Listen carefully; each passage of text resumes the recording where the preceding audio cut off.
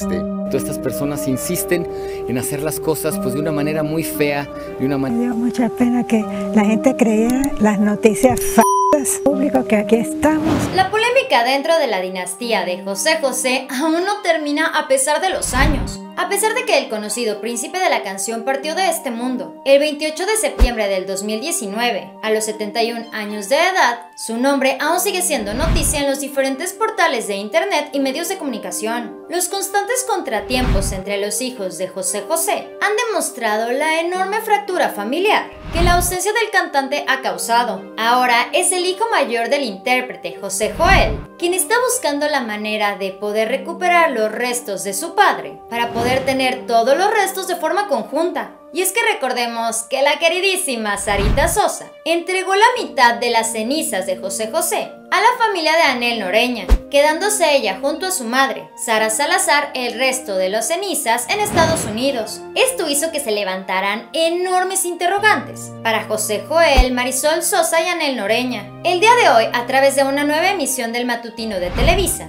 Andrea Legarreta y Galilea Montijo entrevistaron a José Joel, dando a conocer lo siguiente. Tanto se tanto estuvieron fastidiando con que el cuerpo, con que lo instalaron, con que la mitad aquí, la mitad allá. ¿Y ellas qué hicieron con su mitad? ¿Dónde lo tienen?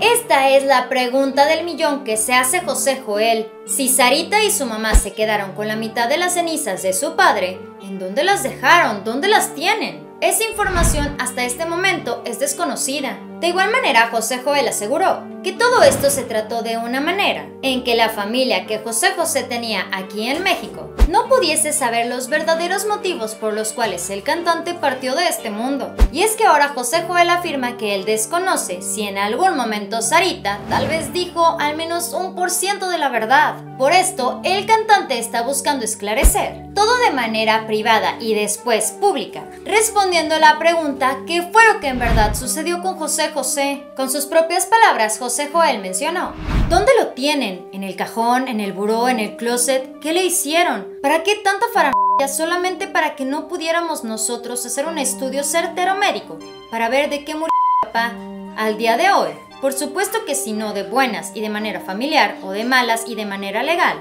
esta gente va a tener que dar la cara definitivamente. Durante un evento realizado por la periodista Adela Micha, José Joel asistió como invitado especial. Diversos medios de comunicación obviamente no dudaron en cuestionarle cómo iba el contratiempo legal que en semanas pasadas le había interpuesto en Estados Unidos a su media hermana Sarita Sosa. Lo que nos dejó sin palabras no fue tal cual el avance, sino la confesión de José Joel, que realizó en torno a perdonar a Sarita, dejando todo lo malo atrás, cumpliendo así una de las principales voluntades de su padre. Esto fue Famosos de cerca. Dale like a este video, suscríbete y síguenos en Facebook. Espero que tengas un excelente día. Nos vemos muy pronto. Bye.